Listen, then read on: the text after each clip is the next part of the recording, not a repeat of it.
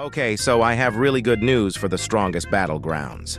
The wait for a new character is over. We just got sneaks for the first move of the new character. I'm guessing that the character is Suiryu because of the color and style of his moveset. Anyways, I don't want to keep you waiting, so here is what his first move looks like.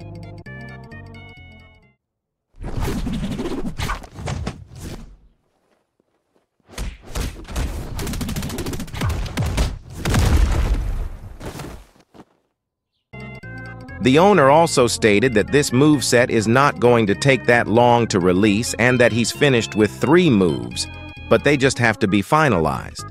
So for the people saying release updates faster before or even after this update, please shut the fuck up. Because the development team don't always have time for a Roblox game like you.